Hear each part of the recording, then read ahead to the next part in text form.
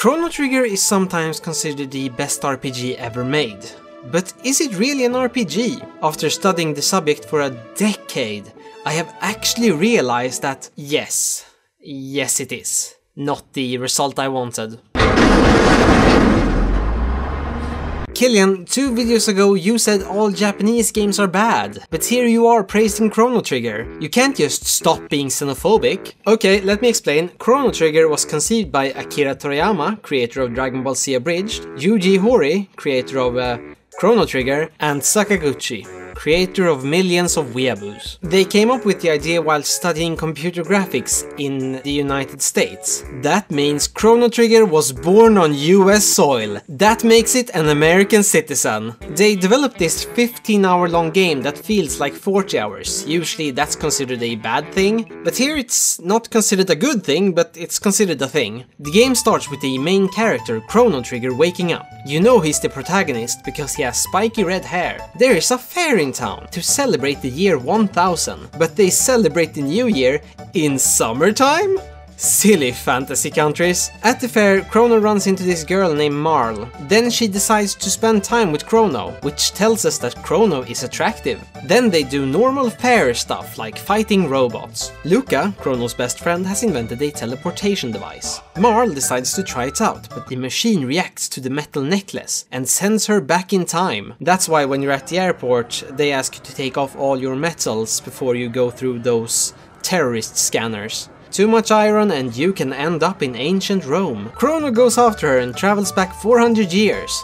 But because the planet has moved quite a lot since then, he ends up in a vacuum and dies. Fortunately, there's a guy in the Middle Ages that looks exactly like him, and no one will know because he's a silent protagonist. So Marle was actually the Princess Nadia, and when she ended up here everyone mistook her for a kidnapped queen. Even though she's like 10 years younger. Let's be honest here, the king knows, the king doesn't care. But because they stop searching for the real queen, she dies, and Marle disappears. Kinda like that movie from the 80s, starting Michael... no, not doing it. We go to the church and meet Frog. No one cares he's a frog. People probably didn't even notice, they were pretty ugly back in the Middle Ages. I mean, wh what am I looking at here? Is that even a human? The queen was kidnapped by a yellow mole. Yay, we did it! The queen is back, Marle is back. Uh, by now you probably want me to explain how Chrono supposedly died, but what about all the other people? Uh, but I'm not gonna do that because I wrote myself into a corner. Back in the year 1000, Chrono is arrested for kidnapping the princess and dragged to court. Your Honor,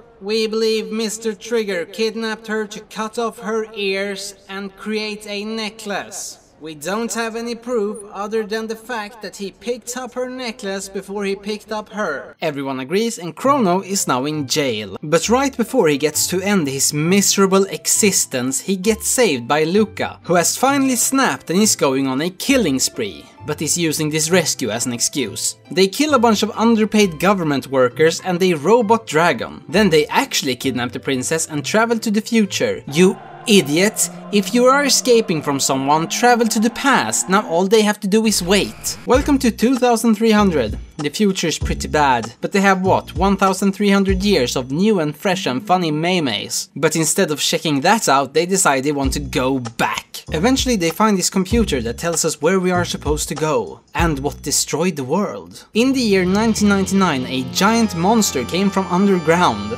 Wrong again, scientists! We know the monster is evil. Not only did destroy civilization, but it couldn't wait one more year. To get to the new portal you have to race, but I intentionally lost lost because I wasn't comfortable destroying a guy in a wheelchair. And he calls me worthless. Okay then. Play with fire, you get iced. Way to the portal is blocked, so we resurrect this robot and then these robots beat him up. I don't want to get involved. He did it! We go through the portal and end up in the end of time? This senior citizen tells you that only three people can travel through a portal. I was wondering how that works. Is it mass? Because the robot can cover three people. And this place, how did it get all this stuff? But also oxygen, gravity, vitamin D. And then I watched The Martian and and it all made sense. That's not a man, That's a cactus! In the Middle Ages, everyone was dying of the plague, uh, corpses rotting on the streets, but that place is better than this one, so we go there. The humans are at war with Magus, which is a wizard named Magnus, but he has severe dyslexia, and he created Lavos. His troops have taken over a bridge. Ozzie, Magus' second in command, summons a giant skeleton.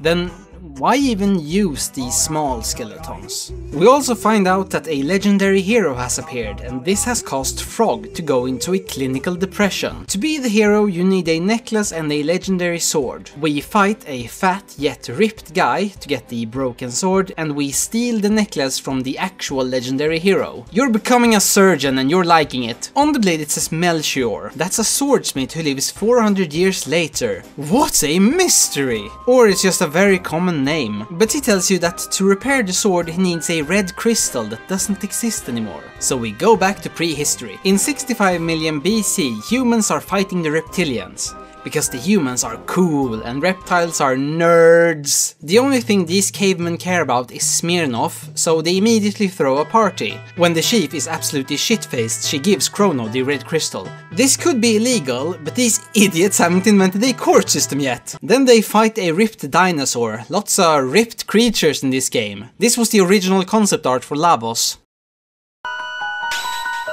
The sword gets Frog out of his depression. Wrong again, psychologist. We see this flashback where we find out that Frog is actually a guy named Glenn. Really? May just killed his best friend and turned him into a frog. But he got a free necklace, so it was not all bad. The sword cuts open a mountain. That wasn't advertised. Then they enter the castle and fight this guy and this guy.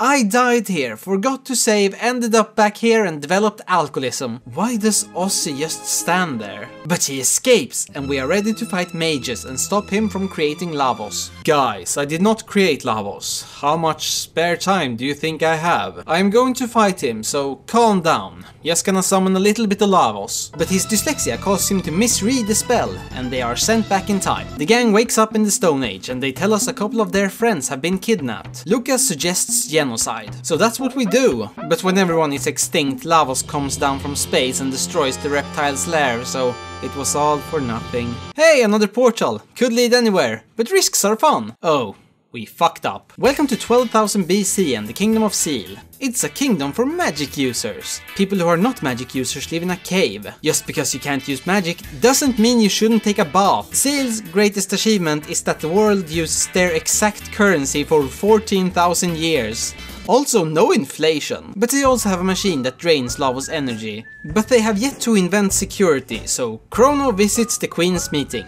But they get captured. The princess rescues them and says rescue the Guru of Life, who is trapped on the mountain of Whoa!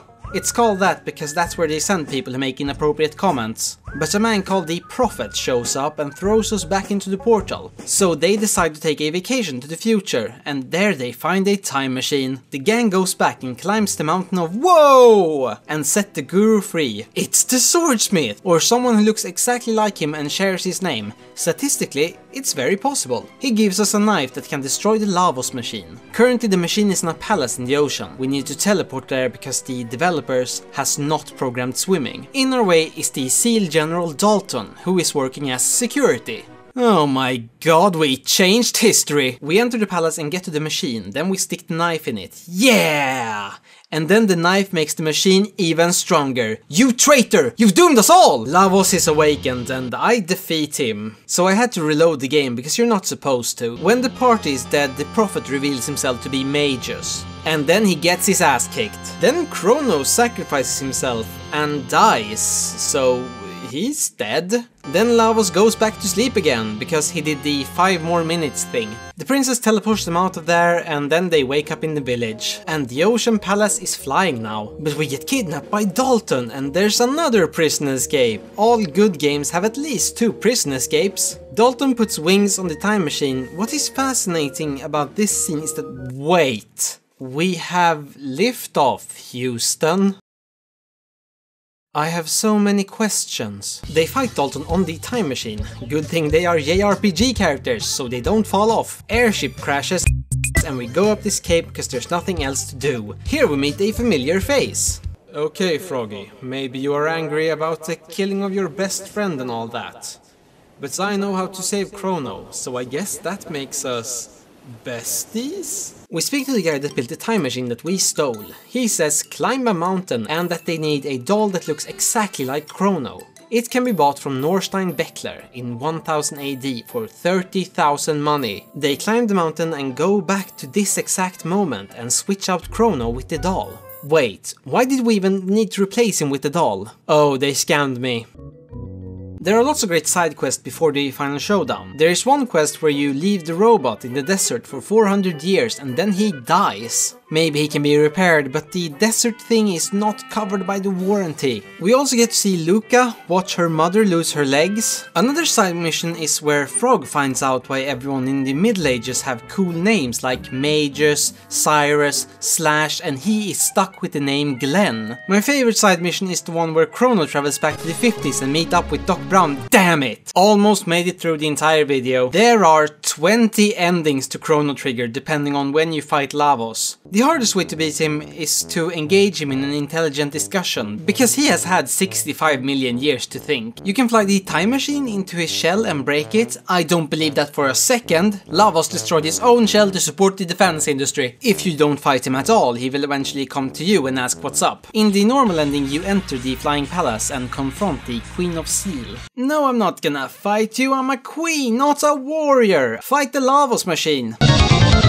Oh right, that's an inanimate object. Fine, I'm summoning Lavos. Here we are, the final showdown. First part, Lavos transforms into previous bosses. You idiot. Don't use attack patterns we already know. Then his head explodes and we enter. Oh shit, Lavos is actually Cell. Then that form dies and oh shit, there's a third form. Oh, that's it? Huh. Then they celebrate. Yay! Everyone returns to their times and it's very sad. Final thought.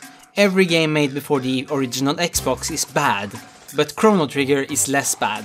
And that is the Kilian experience. Hi there, thanks for 1 million views on the previous video. I now have a Steam group and a subreddit, yay! In the next recap I'm doing a shorter game. Yes, Chrono Trigger is only 15 hours, but they managed to cram 40 hours into those 15.